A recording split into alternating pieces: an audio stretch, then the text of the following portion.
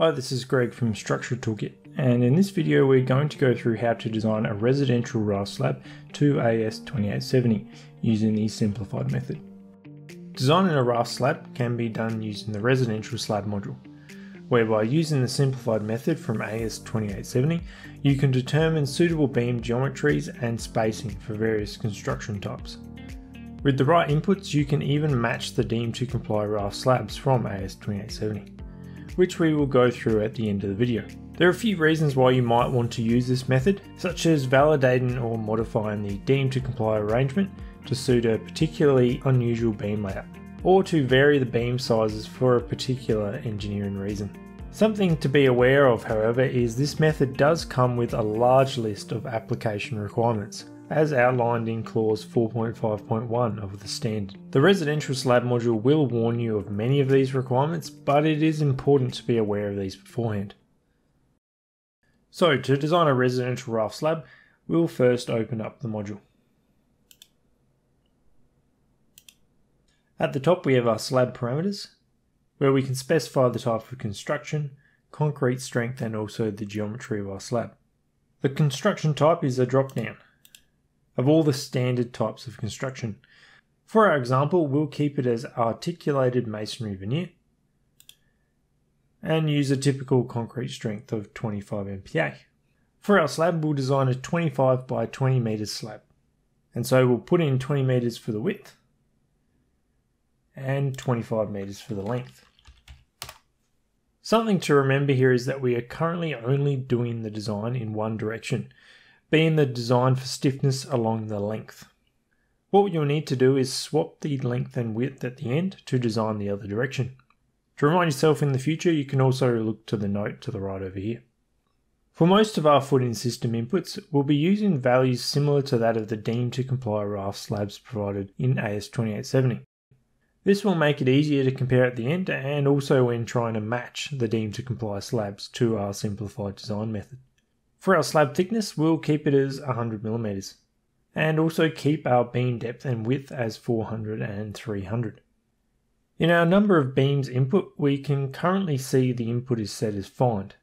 What this means is that it is currently finding the optimal number of beams to satisfy the stiffness requirements of AS2870, which we will have a look at shortly.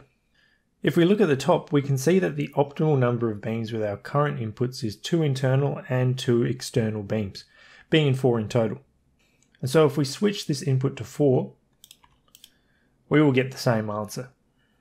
We could alternatively use the find option on either the beam depth or width as well. And you can see now that this find has set our beam depth as 348. Do note that you can only set one of these options to find at a time. And for now we'll leave our beam depth as 400 and set our number of beams to find.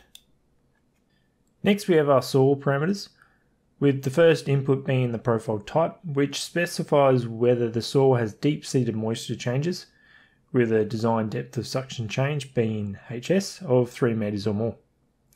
This option will affect the limits of the YS we can specify, and also the stiffness requirements, which we will see later. For our characteristic surface movement, we'll say our geotechnical report has specified class H1 and not deep-seated with a YS of 60 millimeters.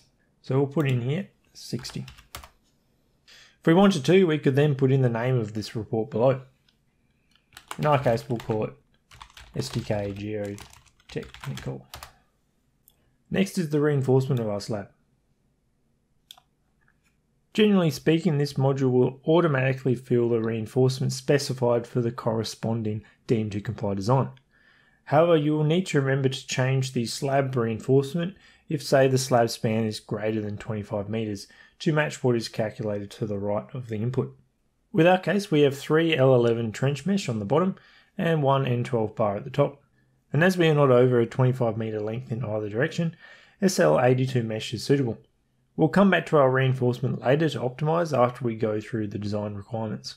The first part of the design is the stiffness requirements from clause 4.5. We're using the specified YS and the maximum allowable deflection from table 4.1. The required stiffness is determined using figure 4.1. The geometry we have input is then used to calculate the actual stiffness, which is where the find option determines the optimal value of the corresponding input, being the number of beams in our case. The next design check is for ductility, where using AS3600, a design moment that is 20% greater than the cracking moment capacity needs to be satisfied. We can see these design moments calculated for all four cases of our slab, being external sagging and hogging moments, and then the same for our internal beams. Within this, the first check that is done is the minimum strength requirements, being the minimum reinforcement for both hogging and sagging moments for external and internal beams. This is taken from clause 8.1.6 of AS3600. The second check is then calculating the moment capacity of the beams against the four cases that are calculated above. In our case, we can see that our reinforcement and capacities are insufficient, so we'll likely need to increase our reinforcement. What we can do now is go back above to our reinforcement input. There are likely several arrangements of reinforcement that will work, but one option that will work in our case is two layers of 3L12 trench mesh bottom, or in other words 6L12.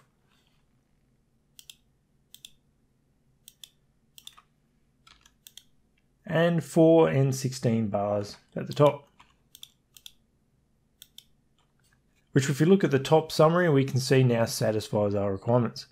What we would want to do now is to design along the other direction of our slab, and so we would then switch the width and length. Something you may have noticed is that our reinforcement is nowhere near what the deem to comply option would specify for this situation, with our current reinforcement being close to that of full masonry. The reason for this is because of how the cracking moment is calculated. And if we want to match the designs of the deemed to comply section, we'll need to make a few changes. Firstly, we'll need to set the concrete strength to 20 MPa, which is stated in clause 4.4i. If we use a higher concrete strength, the cracking moment will increase, thus requiring more reinforcement. The second and probably most significant change is to not consider the slab flange for section modulus calculation with this option being found down the bottom on the right. Despite clause 4.4e of AS2870 explicitly stating this is required, much of the work that went into the deemed to comply data originates from Walsh and Mitchell in the 1980s, and the flange outstands were only considered in the calculation of minimum areas of steel from the 2009 Concrete Code onwards. The final change is to set the tensile strength of concrete to match that of AS2870 and not AS3600 when determining the cracking moment. This option can be found just below the consider slab flange option. For 20 MPa, this does result in the same tensile stress as AS3600 for sagging, but is reduced to 1.8 MPa for hogging. These three changes will bring down the cracking moment and subsequently require less steel. So if we now look at our reinforcement again, and this time match it to the deemed to comply, being 3L11 trench mesh bottom, and one N12 bar top. We can see that we are now within the design requirements, and so can match the deemed to comply specifications for our H1 articulated masonry veneer raft slab. That about covers all you need to know for designing a residential raft slab to AS2870 in structural toolkit. Feel free to check out our website and our other videos for more tutorials and help with using this software. If you have any questions, please contact our support team via email or by calling us. Thanks for watching.